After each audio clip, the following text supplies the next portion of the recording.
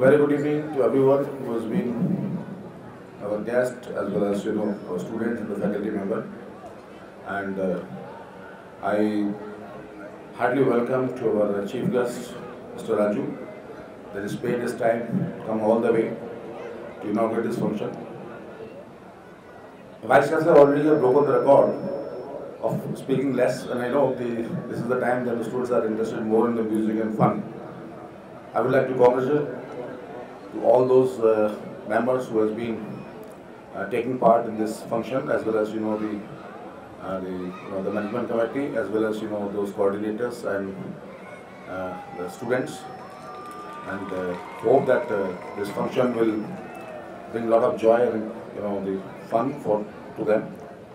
And I would like to announce the chorus is open now, and wish you all the best, and hope that these moments uh, is one of the most memorable moments, you know, particularly for the students in their lifetime.